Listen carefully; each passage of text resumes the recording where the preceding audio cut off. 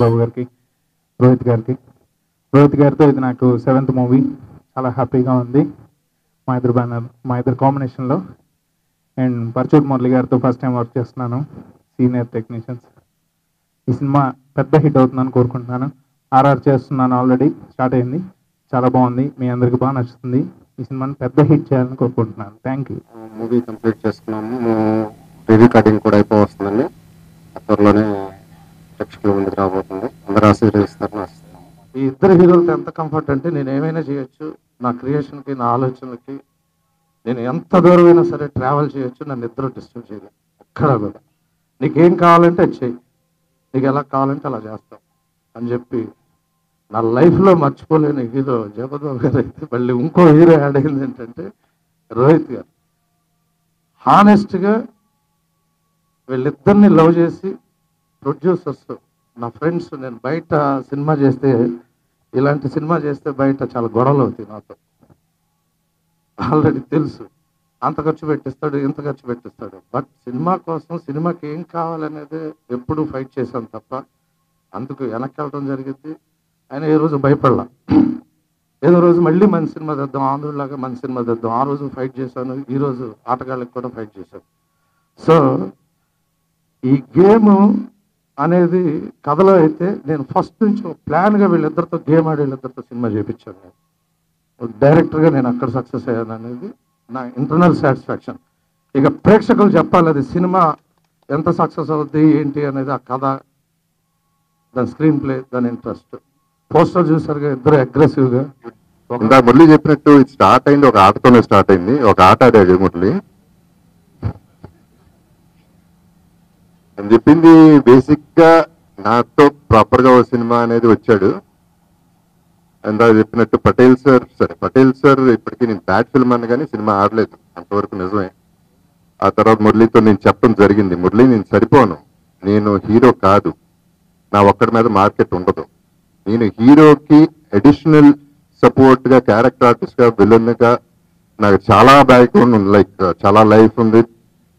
అలా నాకు మార్కెట్ ఉంది తప్ప స్ట్రైట్ అవే మార్కెట్ లేదు. ప్రొడ్యూసర్స్ చాలా మంచివాళ్ళు అంటే ప్రొడ్యూసర్స్ టాపిక్ వచ్చింది కాబట్టి చెప్తున్నాను ఫ్రెండ్ కోసం సినిమా తీశారు డబ్బులు సంపాదించడానికి సినిమా తీశారు.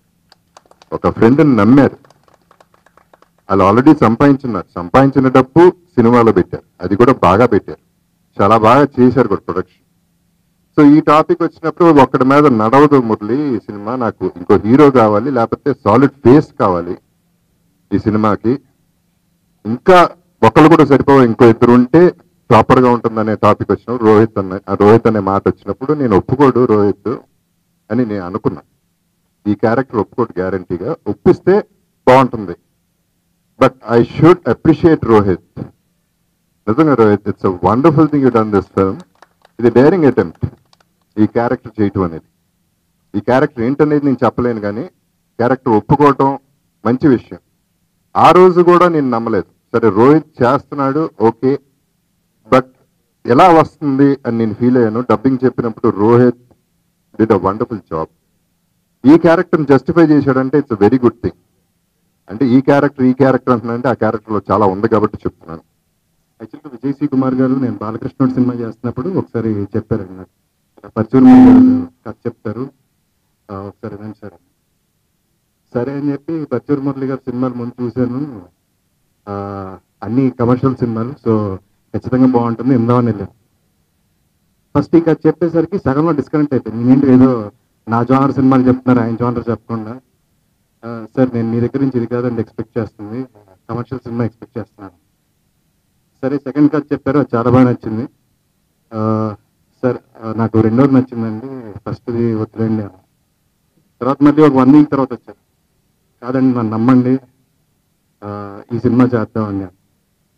ఒక ఫిఫ్టీన్ మినిట్స్ ఆలోచించానండి మళ్ళీ కథను. ఎందుకంటే నేను ఫస్ట్ టైం విన్నప్పుడు కమర్షియల్ సినిమా ఆ ఫార్మాట్లో చెప్తారనుకొని బట్ ఈ కథ కూడా గుర్తుండిపోయాను మళ్ళీ ఒక ఫిఫ్టీన్ మినిట్స్ ఆలోచించి సరే చేస్తానండి సినిమా అని చెప్పాను. అండ్ థ్యాంక్స్ మురళి గారికి. ఒక డిఫరెంట్ సినిమాని నేను చాలా జానర్ సినిమాలు చేశాను.